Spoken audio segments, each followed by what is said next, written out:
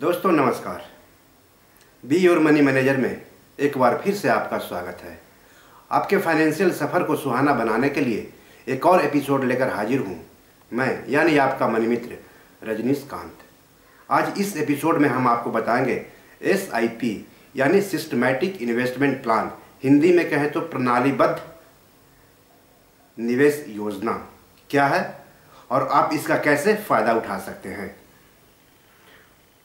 तो सबसे पहले हम आपको बता देते हैं कि एसआईपी है क्या।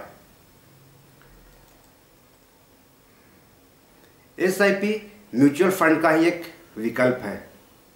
म्यूचुअल फंड में निवेश करने के कई विकल्प हैं, उनमें से एक विकल्प है एसआईपी इसमें आप एक मुफ़्त रकम न लगाकर हर महीने या हर तिमाही की खास तारीख को पैसे लगाते हैं।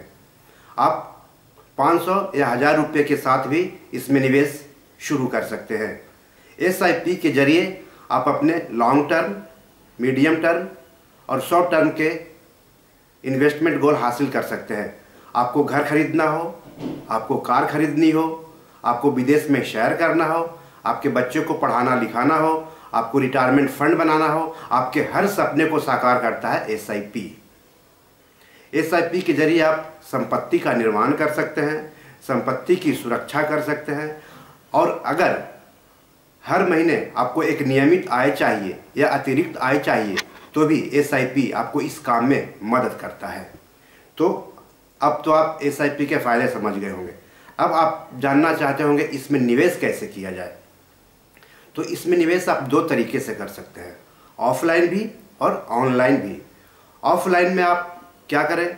जो मार्केट रेगुलेटेड से भी रजिस्टर्ड स्वतंत्र वित्तीय सलाहकार होते हैं, उन, उनसे संपर्क करें, या फिर जो म्यूचुअल फंड डिस्ट्रीब्यूशन कंपनी होती है, वहाँ से संपर्क करें और एसआईपी में निवेश शुरू कर सकते हैं।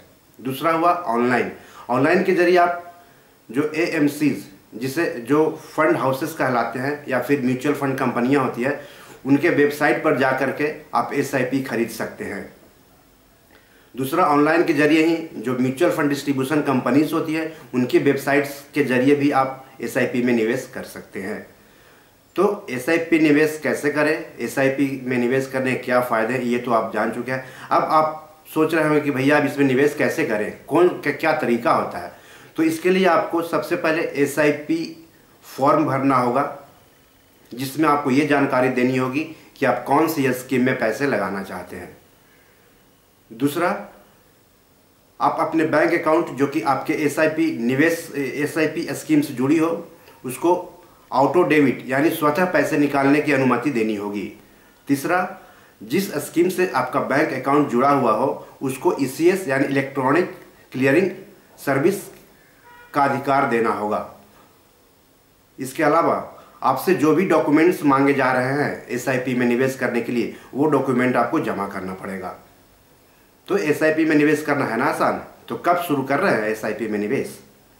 तो बी और मनी मैनेजर में आज इतना ही, लेकिन अपने फाइनेंशियल सफ़र को सुहाना बनाने के लिए देखते रहिए हमारा YouTube channel be your money manager और पढ़ते रहिए हमारा Hindi financial blog be your money manager dot blogspot dot com और हाँ हमारे इस यूट्यूब चैनल को लाइक करना सब्सक्राइब करना और शेयर करना मत भूलिएगा। नमस्कार।